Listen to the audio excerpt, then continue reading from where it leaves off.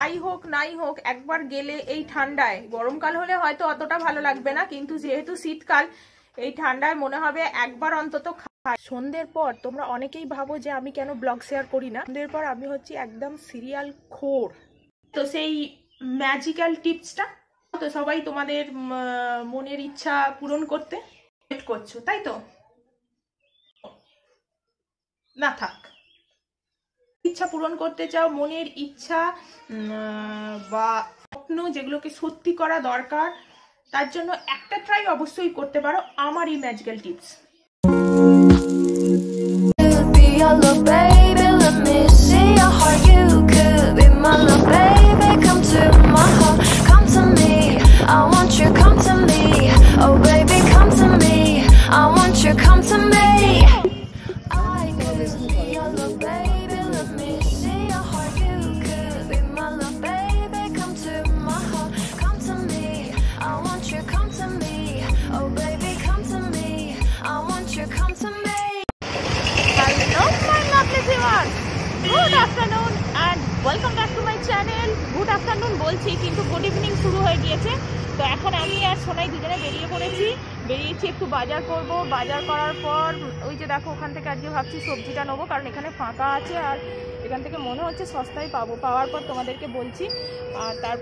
একটু বিরিয়ানি নিল চিকেন বিরিয়ানি নিতে বেরিয়েছিল আর আমার জন্য চাউমিন। আর বাবার জন্য তো বাবা এসব খায় না, বাবার জন্য ভাবছি একটু বেগুনি বা এই ধরনের কিছুই নেব। মা আর ও চিকেন বিরিয়ানি খাবে। তো রাস্তাটা বেশ ফাঁকা ফাঁকাই আছে, ভাবলাম তোমাদের সাথে এখান থেকেই ব্লগটা শুরু করি। আর ও তো এখানে এখন মুখ দেখাচ্ছে না, গজ গজ করছে মানে আমার ওপর খোঁজে বমও হয়ে আছে একটু। তো যাই হোক, চলো এখন বাজারটা করে আসি, পরে তোমাদের সাথে কথা বলছি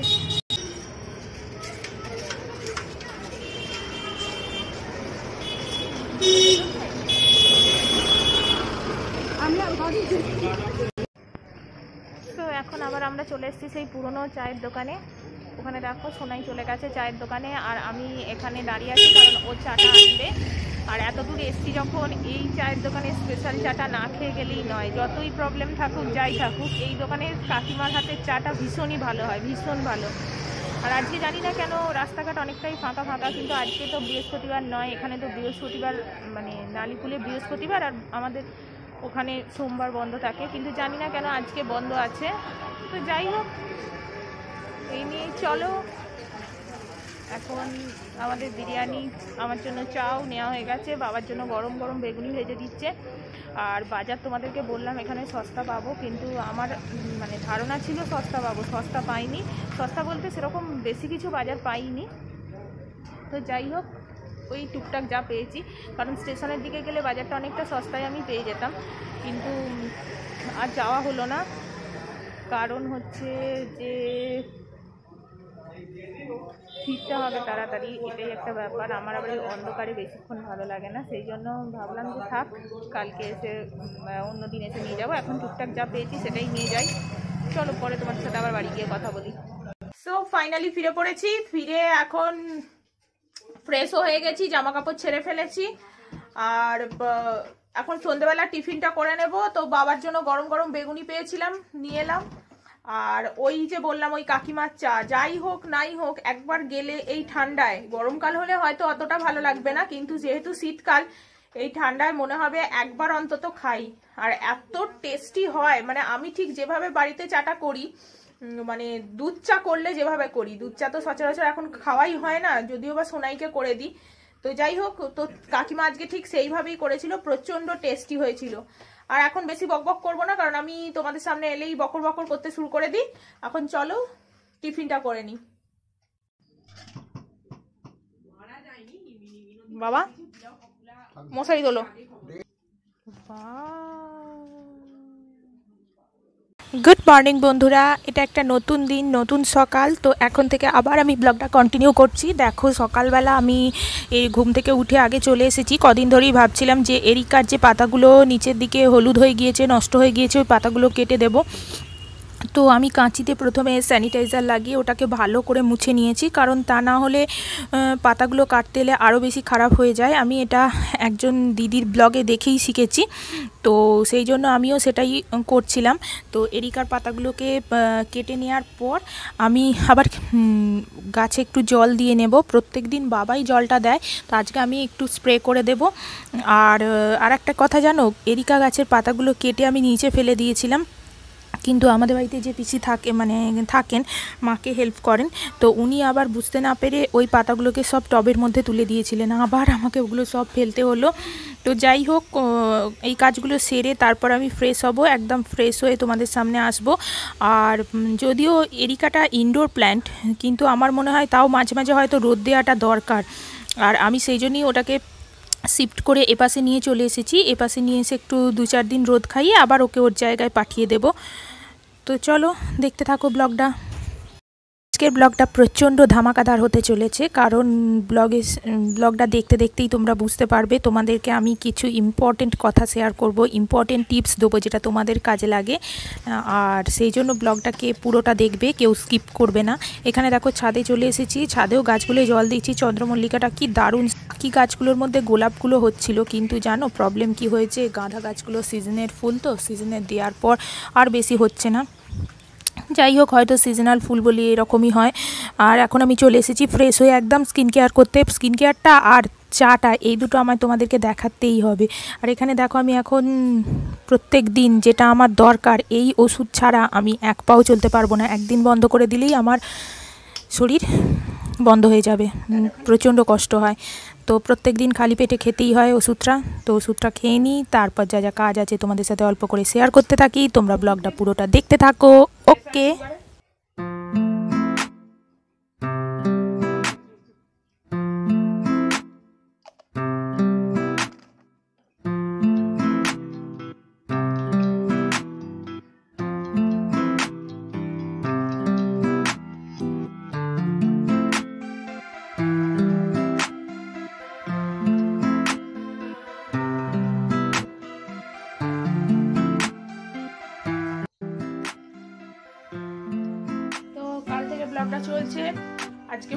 সকাল হয়ে গেছে। সকালবেলা তো দেখলে এরিকা গাছের পাতাগুলো, নিচের দিকের পাতাগুলো রোদ পাইনি যদি ওটা ইনডোর প্ল্যান্ট তবুও আমি আনার পর থেকে একবারও রোদ দিইনি। মাঝে মাঝে রোদ দেওয়াটা দরকার। তো রোদ পা, না পাওয়ার কারণে এখনও বুকে সর্দি বসে আছে। রোদ না পাওয়ার কারণে নিচের দিকের পাতাগুলো একটু হলুদ হয়ে গিয়েছিল। আমি আবার গাছটাকে একটু রোদের দিকে টেনে রেখেছি আর যে পাতাগুলো একটু খারাপ হয়ে গিয়েছিল, ওগুলো কেটে দিলাম। কারণ তা না হলে হয়তো পরের বাকি পাতা মানে পাতাগুলো নষ্ট হয়ে যেতে পারতো। তো যাই হোক, কেটে ওকে এখন রোদে গুছিয়ে বসিয়ে দিয়েছি আর সকালবেলা মানে ফ্রেশ ট্রেশ হয়ে স্কিন কেয়ার তো আমায় করতেই হবে, প্রতিদিন যাই হোক নাই হোক। আমি যত কাজেই ব্যস্ত থাকি স্কিন কেয়ারটা আমি করতে ভুলি না। আর তারপর সকালবেলা প্রত্যেক দিন আমায় যে ওষুধ খেতে হয়, ওটা ছাড়া তো থাকতেই পারব না। ওটা না খেলেই শরীর খারাপ হয়ে যাবে। তো চলো, এখন চা খাওয়া হয়নি। চা করি। গ্রিন টিও নেই গ্রিন টি শেষ হয়ে গেছে। একজনকে ফোন করলাম, সে যদি দিয়ে যায় মানে দোকান থেকে যদি সুবিধা মতো দিয়ে যেতে পারে তো ভালো। না হলে আর কি, দেখা যাক কি হয়। এখন লিকার চাই খাই। চলো। তুই খেয়েছিস লিকার চা? খাওয়া হয়ে গেছে? আর তোমরা এখানে অনেকেই সোনায়ের ডেলি রুটিন দেখতে চেয়েছো। তো আমি ওর ডেলি রুটিন নিশ্চয়ই তোমাদের সাথে শেয়ার করব। তবে ও এখন খুব ব্যস্ত আছে। ওর কলেজ নিয়ে, ওর প্র্যাকটিক্যাল সমস্ত কাজকর্ম নিয়ে, তো সেগুলো কমপ্লিট হলে নিশ্চয়ই আমি তোমাদের সাথে ওর ডেলি রুটিন শেয়ার করব। চলো এখন চা করি।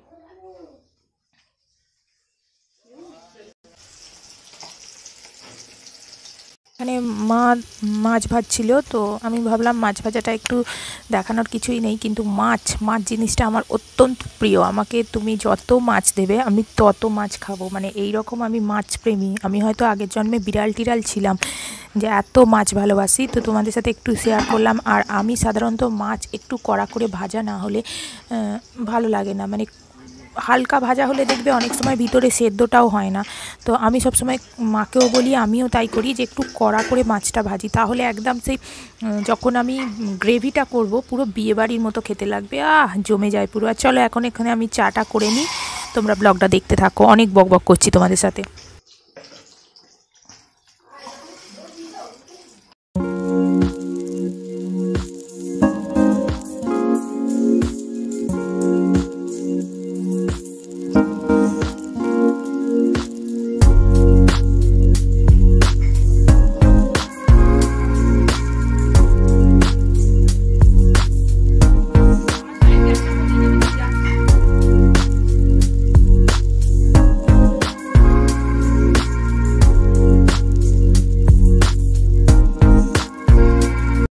এখানে দেখো আমার গরম জল মধু খাওয়া হয়ে গিয়েছে। এখন মাথায় এরকমভাবে অদ্ভুতভাবে চাপা দিয়ে নিয়েছি মানে বুঝতেই পারছ আমি ছাদে যাচ্ছি আমন্ড খেতে খেতে আর সাথে চা নিয়ে। তো ছাদে গিয়ে কিছুটা সময় কাটিয়ে চাটা খেয়ে এসছি আর এখানে মা মোচার বড়া বিকালবেলা করবে তার জন্য প্রিপারেশান নিয়ে রাখছে। আর পাশে মাছের প্রিপারেশানটা আজকে আমিই করছি। মা আমাকেই বলল যে তুই মাছগুলো আবার বরঞ্চ ভালো করে ভাজ ভেজে মাছের কালিয়াটা তুই কর। তো আমি যেভাবে যে প্রসেসে করি সেটা আমি তোমাদের সাথে ছোট্ট করে শেয়ার করছি। দেখো যদিও জানি এটা শেয়ার করার কিছু নেই সকলেই করতে পারো। তবুও আমি আমার মতো করে কীভাবে করছি সেটা আমি তোমাদের সাথে শেয়ার করছি। আর এখানে দুটো ডিম নিয়ে এসেছি কারণ মা বলল যে ডিম ভাজা দিয়ে মুড়ি খাবে সেই জন্য ডিমটা ভেজে দেবো মাকে। আর আমি ভাবলাম যে জলখাবারে উম, যেটা টিফিন করব সেটা আমি একটু ছোট আতপ চাল আলু ভাতে দিয়ে মেখে মানে আতপ চাল যেটা ফেনা ভাত হয় ওটা আলু ভাতে দিয়ে মেখে খাব। তো দেখো এখানে মাছগুলো আমি একদম করকরে করে ভেজে নিচ্ছি যেরকম তোমাদেরকে বললাম বেশি করকরে করে না ভাজলে ভালো মতো গ্রেভিটাও মানে গায়ে লাগে না আর মাছটাও ভেতর থেকে ভালো সেদ্ধ হয় না। আর ভালো সেদ্ধ না হলে খেতেও সুস্বাদু লাগবে না। তো এই কাজগুলো আমি ঝটপট করে নিই, মাছের ঝাল তোমাদেরকে নতুন করে দেখানোর কিছু নেই, শুধু আমি যেভাবে যে প্রসেসে করি, আমি সেটাই তোমাদের সাথে ছোট্ট করে শেয়ার করছি। আমি জানি আমার থেকে অনেক বেশি ভালোভাবে, অনেক সুন্দরভাবে আমার অনেক দিদিরা করতে পারে, তবু আমি আমার মতো করে যতটুকু করছি সেটাই তোমাদের সাথে শেয়ার করলাম। এখানে দেখো আমি কি করছি, আমি কি করছি সেটা মাও জানে না, এখন আমি ব্লগে তোমাদের সাথে শেয়ার করছি। ওই প্রত্যেক দিন চা করার সময় একটু একটু করে যে ছোটো এলাচগুলোকে আমি নিই, চায়েতে দেবো বলে, আর তার পাশেই রাখা থাকে হচ্ছে কাজু কিশমিশ। তো কাজুর প্যাকেট থেকে আমি প্রত্যেক দিন একটা দুটো করে কাজু বের করি আর খেয়ে নিই। দেখো, ওখানেও আমি কাজুটা খাচ্ছিলাম, তারপর আমি চাল ধুতে চলে গেছি। আর এরপর একটা বিশাল বড় মেসি ঘটনা ঘটে গেছে। সেটা হচ্ছে এটা আমার সাথে প্রায় দিনই হয় মানে প্রত্যেক মাসেই একবার করে হয়। আমি রান্না করতে করতে মাঝে রান্না বন্ধ হয়ে যায়, গ্যাস বন্ধ হয়ে যায়, কারণ গ্যাস সিলিন্ডার খালি হয়ে যায়। তো আবার নতুন সিলিন্ডার একটা আনতে হলো, যেটা রাখা থাকে, পাশেই রাখা থাকে। তো রানু মানে ওই বামনির বোন, ও এসেছিল, ও আর আমি দুজনে মিলে দেখো ধরে সিলিন্ডারটাকে বসালাম। আর তারপর সিলিন্ডারটা আমি সেট করে নিচ্ছি। মা বলছিল আমি পারব কি না আমি সিলিন্ডার সেট করতে পারি। আর এখানে দেখো আমি এখন মাছের ঝালটা তৈরি করে নিচ্ছি। একদম দারুণ খেতে হয়েছিল মাছের ঝালটা। মানে এত টেস্টি হয়েছিল, আমি নিজেই নিজের প্রশংসা করে ফেলছি। ভাবা যায়? আর তোমাদেরকে কি বলব? আমি যদি একটু তোমাদের খাওয়াতে পারতাম। যাকগে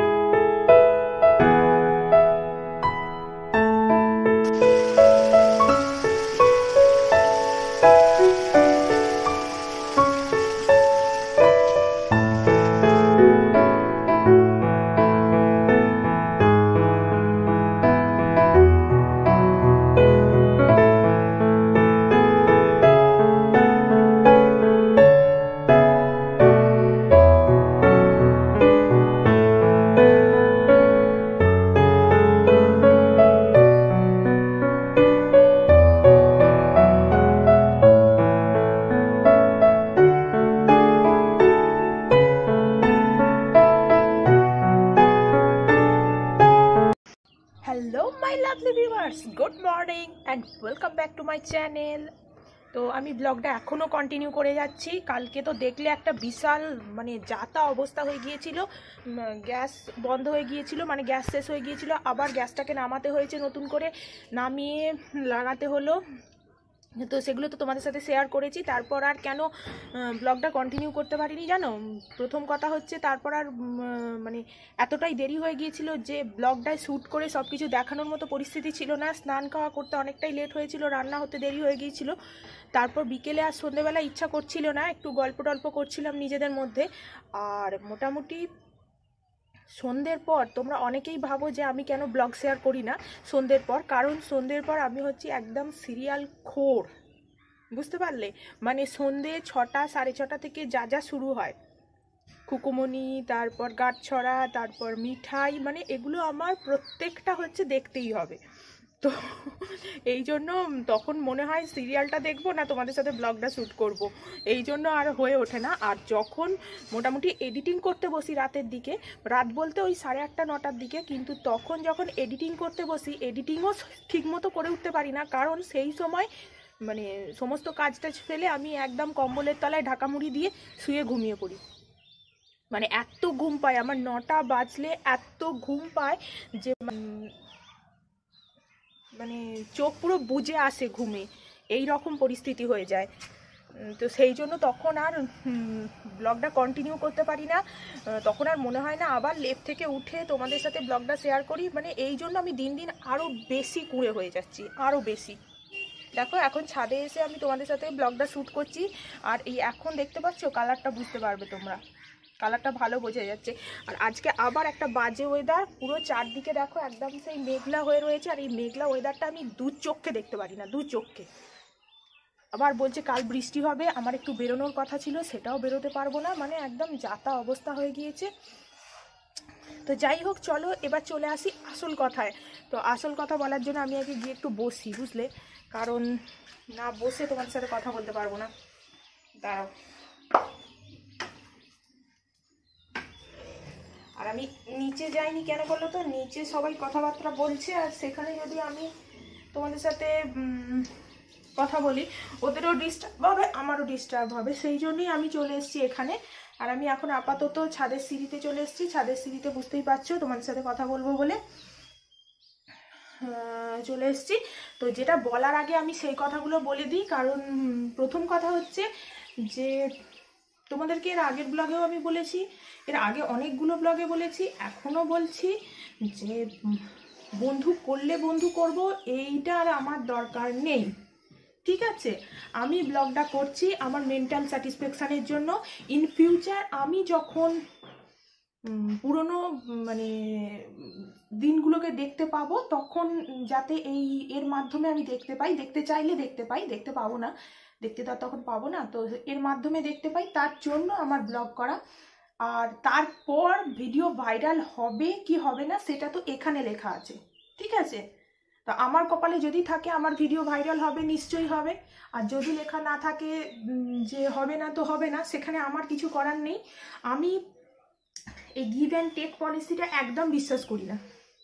অনেকেই হয়তো করো তোমরা, কিন্তু আমি করি না। কেন বলছি? প্রথম কথা, আমি যখন কারোর ভিডিও দেখি, আমি নিজের স্বার্থে, কারণ আমি জানি তাতে তার ভিডিও যদি আমি না দেখে কমেন্ট করে চলে আসি, তাহলে সেক্ষেত্রে আমার চ্যানেলে এফেক্ট পড়বে। তো সেই জন্য আমি রুলস মেনটেন করে হয় পুরোটা দেখি, অথবা যদি দেখো মানে যদি আমার নেটের কোনো প্রবলেম থাকে বা নেট মানে সবার ঘরে অল্প অল্প করে যেতে হবে নেটে প্রবলেম হচ্ছে নেট শেষ হয়ে যাবে। আমি অ্যাটলিস্ট রুল মেনে পাঁচ মিনিট অন্তত, পাঁচ থেকে ছ মিনিট অন্তত দেখি। তারপর কমেন্ট করে আসি। তবে হ্যাঁ অনেকের ক্ষেত্রে আবার কি করি, আমি কমেন্টটা আগে করে দিই। তারা হয়তো ভাবে যে কমেন্টটা করে চলে গেছে। না কমেন্টটা আগে করে দিই, কিন্তু তারপর আমি আমার ভিডিওটা তোমাদের দেখে তারপরে আসি। কারণ আমি তো জানি যে শুধু কমেন্ট করে চলে এলে তাতে তো আমার ভিডিওটায় মানে আমার চ্যানেলের ক্ষতি হবে। নিজের পায়ে নিজে কুড়ুল তো কেউ মারতে চায় না। তো তোমরাও প্লিজ কেউ স্কিপ করো না।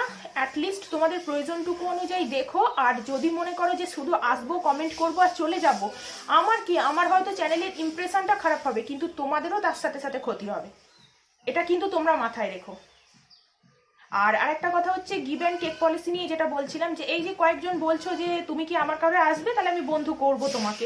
মানে কি দরকার তোমার বন্ধু করার আমাকে? তো আমাকে তো এখানে যারা বন্ধু করছে, ভালোবেসে করছে, আর আমিও তাদেরকে ভালোবেসেই বন্ধু করছি, তাই না? আমি অনেকের ঘরে যাই, এমন অনেকের ঘরে আমি গেছি, তো যাদেরকে আমি মানে তাদের ভিডিও দেখেছি, ভিডিও দেখে ভালো লেগেছে, তাদেরকে আমি বন্ধু করে এসেছি। কোনো দিনের জন্য বলে আসিনি যে আমার ঘরে এসো তুমি। এখনও পর্যন্ত আমি দেখেছি তারা আমার ঘরে আসেনি। বা তারা হয়তো ভুলে গেছে বা অতটা খেয়াল করেনি, কিন্তু আমি রেগুলার গিয়ে তাদের ঘরে কমেন্ট করে আসি। এবার তার মধ্যে অনেকের যখন মনে হয় যে হ্যাঁ তারা হয়তো আমার ঘরে এখনও আসেনি, তারা অবশ্যই আসে। কিন্তু আমি তো কই জোর করে গিয়ে বলে আসি না বা কিছু পাওয়ার লোভে গিয়ে বলে আসি না যে, আমাকে দিতেই হবে। তাই না? তো প্লিজ সো এরকম করো না তোমরা, এই জিনিসটা ঠিক না। আর এরপর অনেক বকবক করে ফেলেছি আমি, আর বকবক করব না, অনেক কথা বলা হয়ে গেছে। এবার যেটা বলার জন্য তোমরা এতক্ষণ ধরে ওয়েট করছ, তাই তো? ওয়েট করছ তো?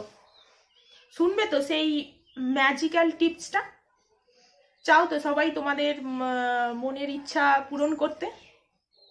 যদি মনের ইচ্ছা পূরণ করতে চাও, মনের ইচ্ছা বা, ধরো, স্বপ্ন যেগুলোকে সত্যি করা দরকার, তার জন্য একটা ট্রাই অবশ্যই করতে পারো আমার এই ম্যাজিক্যাল টিপস বলব?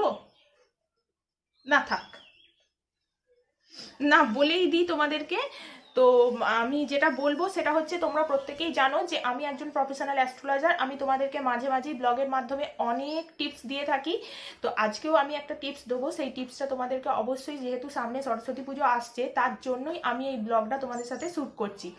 আর আমি জানি তোমাদের হয়তো পিছনে লাইট আসছে বলে দেখতে অসুবিধা হচ্ছে, তো প্লিজ একটু ওটাকে ইগনোর করো, কারণ আমার এই জায়গাটায় বসে তোমাদের সাথে কথা বলাটাই বেশি মানে সুটেবল বলে মনে হলো। তো দেখো আমি বিভিন্নভাবে বিভিন্ন অ্যাঙ্গেলে ক্যামেরাটাকে লাইট থেকে অফ করার চেষ্টা করছি, যদিও সেই লাইটটা চলেই আসছে। যাই হোক। তো সরস্বতী পুজোর আগেই আমি এই ব্লগটা এডিট করে যেভাবেই হোক তোমাদেরকে দিতে চাই, তার কারণ হচ্ছে তোমরা যাতে এই সরস্বতী পুজোর দিন এই টিপসটা ফলো করতে পারো। তার জন্যই আমার এই ভিডিওটা করা। তো এই ভিডিওটা করলাম এই, যাদের বাড়িতে মেনলি দুষ্টু দুষ্টু বাচ্চারা আছে, পড়াশোনা করতে চায় না, কিছুতেই পড়াশোনায় তাদের মন বসছে না, বা অনেকের অনেক দিনের স্বপ্ন, অনেক দিনের ইচ্ছা পূরণ করতে চাও, তো তোমরা অবশ্যই এই টিপসটা ফলো করতে পারো, বা অনেকের অনেক দিনের কোনো কাজ আটকে আছে, সেটাও তাড়াতাড়ি যাতে হয়ে যায়, সেই জন্য তোমরা এই টিপসটা অবশ্যই ফলো করো, অবশ্যই করে দেখো, কিচ্ছু না, একটা সোজা কাজ, সরস্বতী পুজোর দিন সকালবেলা তোমরা খালি পেটে যখন অঞ্জলি দিতে যাও, সবাই তো অঞ্জলি দাও, অঞ্জলি দিতে যাও, তখন অবশ্যই করে একটা পলাশ ফুল জোগাড় করো। সেই ফুলটা নিজে হাতে, পুরোহিতের মাধ্যমে নয়, নিজে হাতে মায়ের পায়ে অর্পণ করে তোমাদের মনের ইচ্ছা, তোমাদের যা যা সমস্যা আছে সেগুলো মাকে নিবেদন করো। দেখো তোমাদের এতে কাজ হয় কিনা। ঠিক আছে? তো আমি আশা করছি তোমাদের এতে কাজ হবে। বিশেষ করে যাদের বাড়িতে দুষ্টু দুষ্টু ছেলেমেয়েরা পড়াশোনা করতে চায় না প্রচণ্ড দুষ্টুমি করে, পড়াশোনায় মন বসাতে পারে না, তাদের জন্য তো এটা একদম দুর্দান্ত। তো তোমরা অবশ্যই এই টিপসটা ফলো করবে, আমি জানি তোমরা এর আগেও অনেকে বলেছ যে অনেক টিপসের কথা, অনেক টিপস তোমাদের কাজে এসেছে। তো সেই জন্য আমি তোমাদেরকে ভাবলাম, আর অনেক দিন হয়ে গেছে, বিশেষ করে two thousand twenty twenty two পড়ার পর থেকে আমি তো এসব কিছু মানে তোমাদের সাথে শেয়ার করতে টাইমই পাচ্ছি না। শেয়ার করার জন্য তো টাইম বলতে শুধুমাত্র দেখেছ তো, বেশিরভাগ ক্ষেত্রেই আমি ব্লগে মানে ভয়েস দিয়ে চলে যাই। আমি বকর বকর করতেও আসছি না এখন।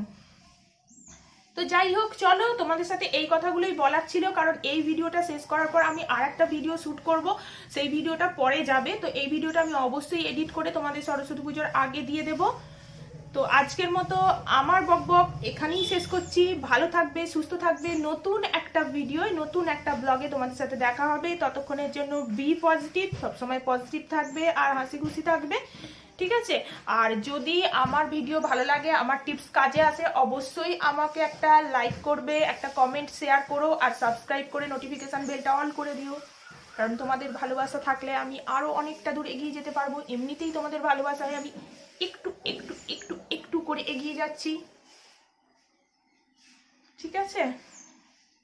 তো চলো, আর বেশি বক বক করে লাভ নেই। অনেক কথা বলা হয়ে গেছে। তোমাদেরকে যেগুলো জানানোর ছিল সেগুলোও আমি জানিয়ে দিয়েছি। আর একটা কিছু আমি ভুলে যাচ্ছি, তোমাদেরকে বলব বলে ভেবেছিলাম, কিন্তু মনে করতে পারছি না। কিন্তু এইমাত্র ভাবলাম তোমাদেরকেই বলব সেই কথাটা। কি কথা? সেটা তো আর মনে করতে পারছি না। হ্যাঁ ও হ্যাঁ হ্যাঁ মনে পড়েছে মনে পড়েছে। আর যেহেতু এই ভিডিওটা সরস্বতী পুজোর আগে যাচ্ছে, তো মানে ব্লগ শেষের, শেষ বেলায় আমি তোমাদেরকে বলতে চাই, আগাম সরস্বতী পুজোর শুভেচ্ছা রইল তোমাদের সকলকে। হ্যাপি সরস্বতী পূজা। খুব ভালো করে ফাটিয়ে এনজয় করো সরস্বতী পূজাটা। দেখেছ? এটাই বলতে ভুলে গিয়েছিলাম। ঠিক আছে, টাটা!